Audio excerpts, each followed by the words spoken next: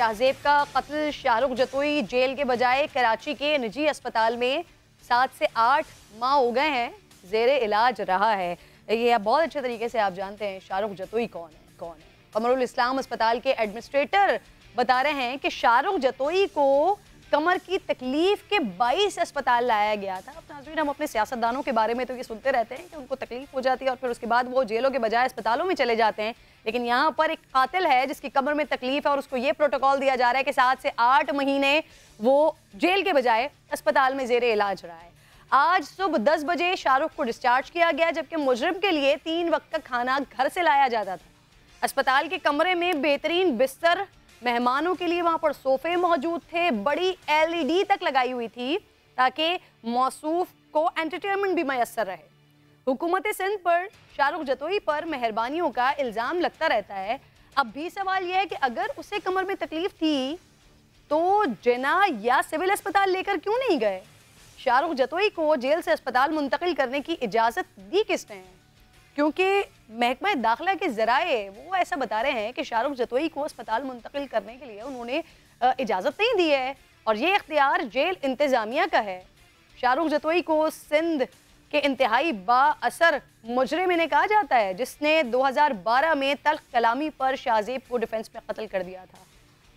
2013 में नाजरीन, इंसदाद दहशत गर्दी की अदालत ने मरकजी मुलजिम शाहरुख जतोई समेत दो मुलजमान को सजाए मौत जबकि दो को उम्र कैद की सजा देने का हुक्म दिया था। 2017 में जब शाहजेब खान के वालदेन ने कसास और दियत के कानून के तहत सुलहनामे के बाद मुलजिम शाहरुख जतोई को माफ़ कर दिया था, जिसके बाद उन्हें रिहा कर दिया गया, लेकिन अगले साल ही सुप्रीम कोर्ट ने इस मुकदमे से मुतल असखुद नोटिस की समात के बाद सिंध हाई कोर्ट का फैसला कलदम करार देते हुए इस मुकदमे में मुलविस चारों मुजरिमान को दोबारा गिरफ़्तार करने का हुक्म दिया था, जिसके बाद उन्हें दोबारा हिरासत में ले लिया गया था और फिर 2019 में शाहरुख जतोई समेत दो मुजरिमान की सजाए मौत उम्र कैद में तब्दील हो गई थी। और आपको याद होगा कि जब आ, इसको सज़ा सुनाई गई थी उसने विक्ट्री का निशान बनाया था तो वो शायद विक्ट्री का निशान आज का दिन देखने के लिए ही था कि स्टेट भी इन्वॉल्व हो गई इस केस में। पहले सजाए मौत फिर उम्र कैद की सज़ा हो गई लेकिन उसके बावजूद भी प्रोटोकॉल का ये आलम है कि अस्पताल और अस्पताल में एलईडी स्क्रीन भी मौजूद, बैठने के लिए सोफे भी मौजूद काउच भी मौजूद ताकि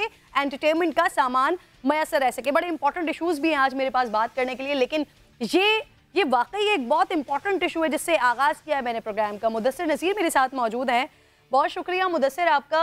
ये ज़रा ये शाहरुख साहब को जो प्रोटोकॉल माफ़ कीजिएगा, जो इलाज मालजा मिल रहा था, कब से मिला, किसकी इजाज़त पर ये यहाँ पर आए थे?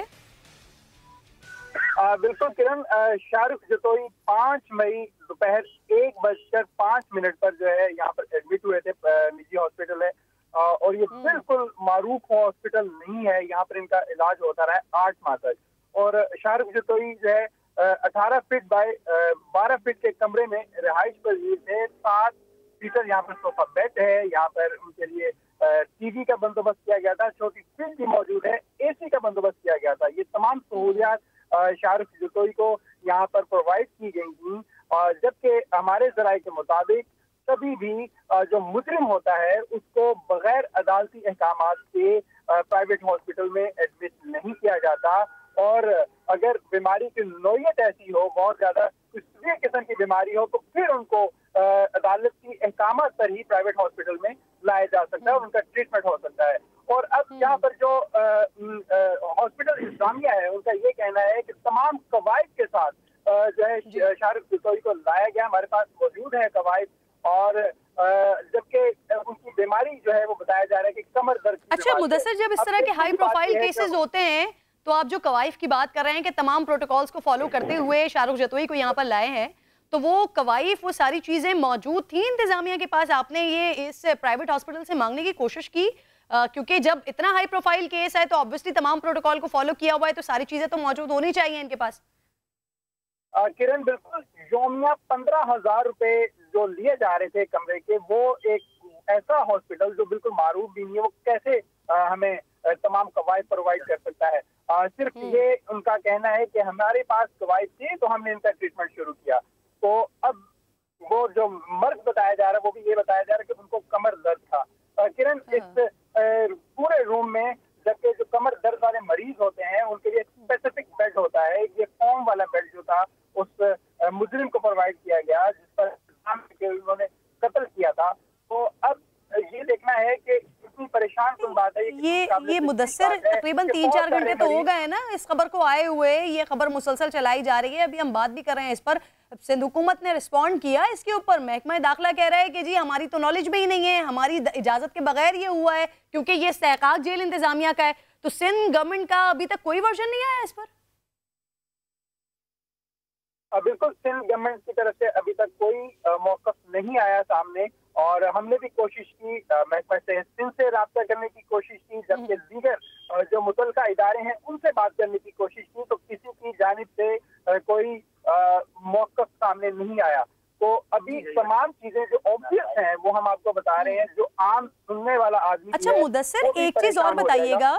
ये ये जो आपने यहाँ तक जो इंक्वायरी की है ये इनके पास कवाइफ तो मौजूद नहीं है इस प्राइवेट हॉस्पिटल में लेकिन इसके साथ साथ क्योंकि जो प्रोटोकॉल होता है इस तरह के कोई हाई प्रोफ़ाइल केसेस का या मुजरिमान को लेकर जाने का उनको सरकारी अस्पतालों में लेकर जाया जाता है और अगर वहाँ से कोई आपको रेकमेंड किया जाए कि आप किसी डॉक्टर को दिखाएँ तो फिर उसके बाद प्राइवेट अस्पतालों में मुंतकिल किया जाता है। तो इस तरह का कोई लेटर इस तरह के कोई मेडिकल सर्टिफिकेट्स वगैरह इस हॉस्पिटल में मौजूद है इनके पास? रेफर किया गया हो वहाँ से यहाँ पर? जी बिल्कुल। किरण हमें तो इस तरह की कोई कवायद सामने नहीं दिए गए हमें। और सिर्फ़ उनके पास ये इनका ये कहना है कि हमारे पास कवायद थे तो हमने इनसे ट्रीटमेंट शुरू कर दिया। तो जो हमारे जराए हैं उनका ये कहना है कि फ़िल्म में कोई भी मुस्लिम उसको या तो सर्विसिंग हॉस्पिटल में लाया जाता है या सिविल हॉस्पिटल में लाया जाता है ये दो हॉस्पिटल है जहाँ पर इलाज किया जाता है मुजरिम का और हम्म। अगर कोई बहुत ज़्यादा नोयत क्रिटिकल कंडीशन हो तो फिर अदालती अहकाम पर उसको प्राइवेट हॉस्पिटल में मुंतकिल किया जा सकता है लेकिन सही। कोशिश ये की जा रही थी हमारी तरफ़ से कि हम आई जी जेल खाना जात से जरा बात कर सकें सिंध हुकूमत का वर्जन इसके ऊपर ले सकें कि आखिर ये मामला क्या है ना आपकी नॉलेज में है ना आपके इल्म में है। पिछले सात आठ महीनों से ये खेल खेला जा रहा है बीमारी का इलाज करवाया जा रहा है प्राइवेट हॉस्पिटल में हो रहा है। इतना हाई प्रोफ़ाइल केस है लेकिन सिंध गवर्नमेंट खामोश है इजाज़त किसने दी है? यकीन समा इसके ऊपर काम करता रहेगा और हकाइक मजीद भी नाजरीन के सामने लेकर आएगा। बहुत बहुत शुक्रिया मुदसर